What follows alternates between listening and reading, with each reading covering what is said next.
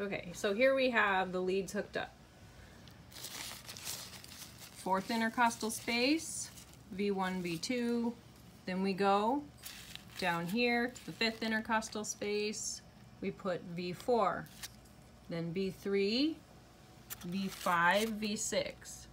V5 is anterior axillary, so it's just right at the armpit of the, the front of the axillary, the front of the armpit. The mid axillary is like right in the middle.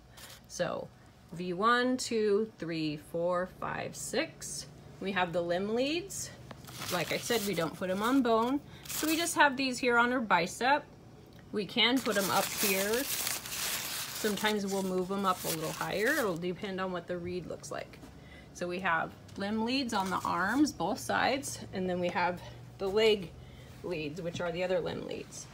Now, you can see that it says right leg, left leg, LL.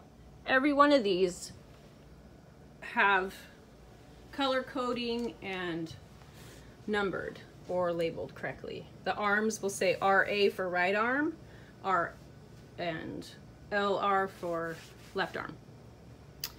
Now, if she had breast implants, these would be placed higher depending on the profile of the breast implants.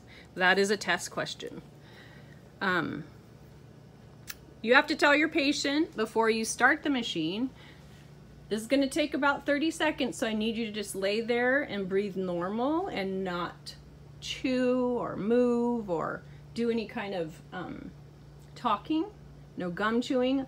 Also, you wanna make sure there's nobody walking around the floor because that can interfere too. So there's a lot of interference that we're gonna talk about too. Electrical? Electrical interference, no phones.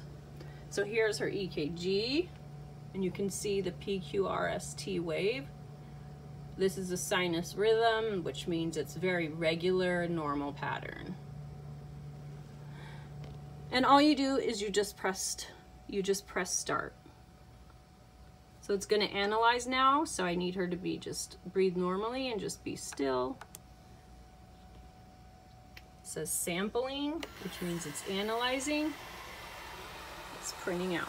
The red line means we need to add paper.